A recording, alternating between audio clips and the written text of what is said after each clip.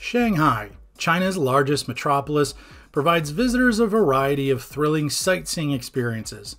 Despite its population of over 24 million people, this always bustling metropolis provides a lot quieter older areas and locations to visit in addition to its numerous newer tourist attractions. Welcome back to Hotel Review, where we'll be talking about some of the best locations and activities that you should consider if you ever find yourself visiting the fantastically beautiful city of Shanghai.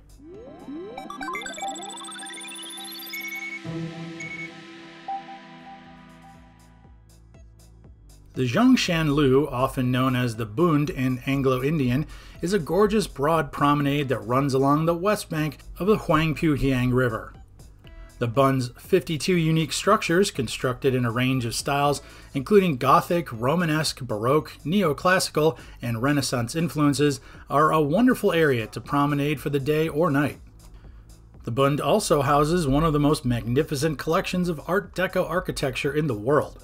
The magnificent Yu Garden is also located in the northeast of the Old Town and was designed in 1559.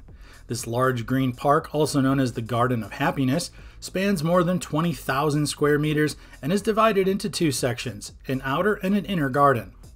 The Hall of Spring, where the Company of the Little Swords held its headquarters between 1853 and 1855 while it dominated Shanghai, is the most well known structure. The artificial rocks in this section of the garden are historically significant since they are the only works of master garden designer Zhuang Nanyang and has been maintained. The exquisite Jade Buddha temple located in Shanghai's Anwanglu area features two Shakyamuni sculptures that monk Huigen brought with him from Burma.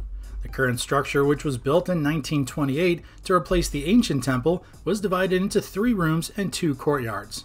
One of these magnificent statues, carved from white jade, is about 2 meters tall in the Wentang Main Hall, which also houses a collection of Buddhist writings. The 468 meter tall Oriental Pearl Tower and TV Tower is also a must see in Shanghai. It's on the east bank of the Huangpu River in Pudong Park. You'll be rewarded with spectacular views over the busy river and the new metropolis, as well as spectacular vistas over the ancient Bund Promenade. A lower level shopping area, the Space Hotel with rooms and excellent views, and a thrilling virtual reality roller coaster experience are among the other attractions. Even if you're unable to climb the tower, you'll appreciate seeing it at night when the entire structure is illuminated in a spectacular light show. If you enjoy museums, you won't want to miss the Shanghai Natural History Museum. This magnificent world class facility first opened its doors in 1956 and has only recently moved to a new state of the art location in Jing'an Sculpture Park.